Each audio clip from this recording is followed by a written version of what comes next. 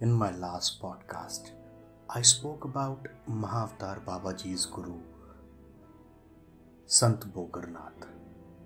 Today, I will be focusing more on the untouched aspects of Mahavatar Babaji's disciple, Lahiri Mahashayji.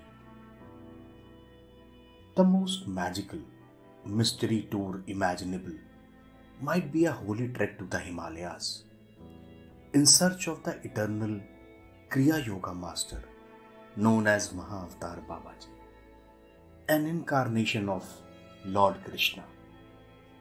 Having achieved a high level of spiritual awareness and superpowers, Babaji was and is a great Siddha.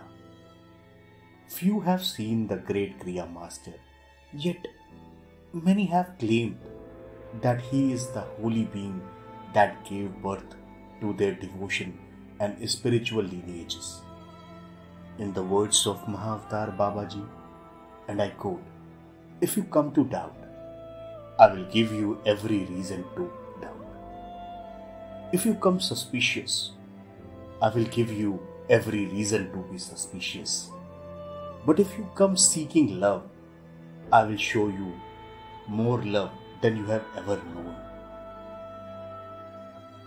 As mentioned in my previous podcast, Babaji was born in a family of Nambudiri Brahmins in a village known as Parangipettai in Tamil Nadu, India. Babaji's father was a Shiva devotee and a Hindu priest. Mahavatar Babaji's birth name was Nagraj, which translates to Serpent King, a reference to the energy, the snake of Kundalini Shakti. Patanjali, in his Yoga Sutras, defines Kriya Yoga as the constant practice of and cultivation of detachment, self study, and devotion to the Lord.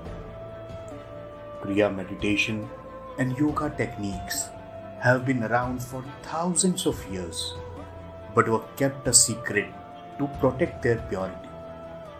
These techniques were utilized by Jesus Christ and his disciples, the Buddha and his followers, and Arjuna, the most powerful archer in history.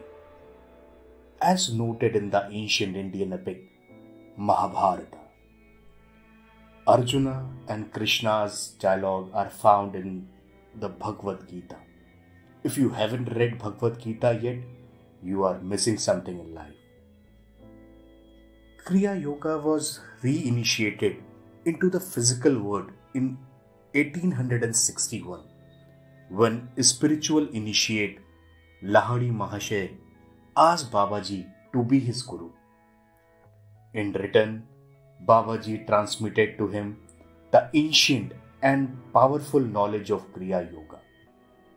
As per the historical anecdotes, Lahiri Mahashay lived as an accountant and a family man by day and a great guru by the night.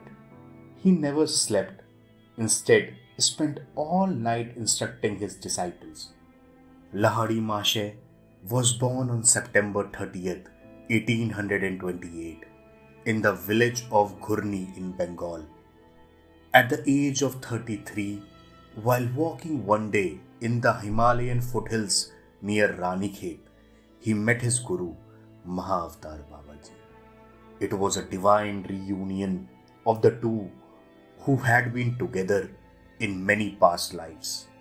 At an awakening touch of blessing known as Shaktipat, Lahiri Mahashay became engulfed in a spiritual aura of divine realization that was never to leave him. Mahavatar Babaji initiated him in the science of Kriya Yoga and instructed him to bestow the sacred techniques to all the sincere seekers. Lahiri Mahashay returned to his home in Kashi to fulfill the mission as the first to teach the lost ancient Kriya science in contemporary times. He is renowned as a seminal figure in the renaissance of yoga that began in modern India in the latter part of the 19th century and continues to this day. In the words of Paramahansa Yogananda, and I quote, As the fragrance of flowers cannot be suppressed, so Lahiri Mahashay, quietly living as an ideal householder, could not hide his innate glory. Devotee bees from every part of India begin to seek the divine nectar of the liberated master. The harmoniously balanced life of the great householder, Guru, became the inspiration for thousands of men and women, and I unquote. As Lahiri Mahashay exemplified the highest ideals of yoga, union of the little self with God, he is reverenced as a yoga avatar or incarnation of yoga.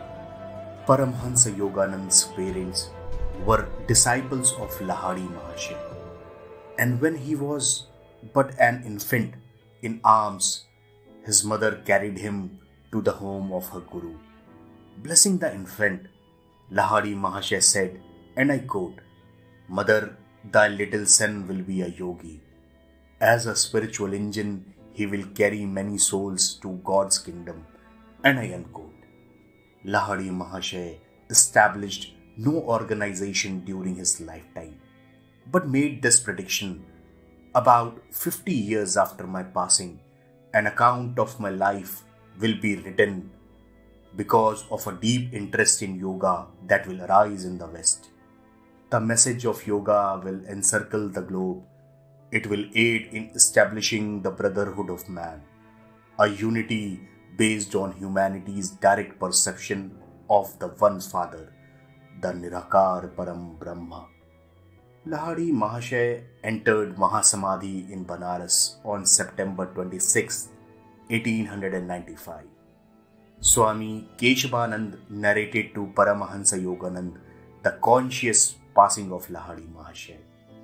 In the words of Keshavanand, and I quote, a few days before my Guru relinquished his body, he materialized himself before me as I sat in my hermitage at Haridwar, Uttarakhand, India. Come at once to Banaras. With these words, Lahiri Mahashay vanished.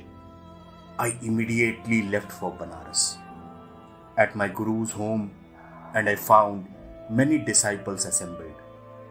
For hours that day, the Master illustrated the Gita. Then he addressed us simply I am going home.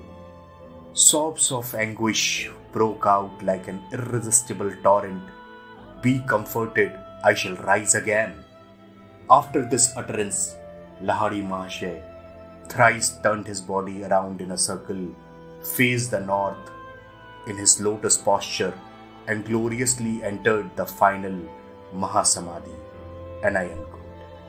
The last meditation or Mahasamadhi is a practice during which a master who knows beforehand when the final hour is about to strike for the physical body merges himself in the cosmic Om. 50 years later, in America, as prediction was fulfilled, when an increasing interest in yoga in the West inspired Paramahansa Yoganand to write autobiography of a yogi, which contains a beautiful account of Lahiri Mahashay's life. In the words of Lahiri Mahashay, all time is wasted that is not spent in seeking God. That is all for this session of the USP show. See you in the next episode. Namaskar. Stay home, stay safe, and try looking for answers within.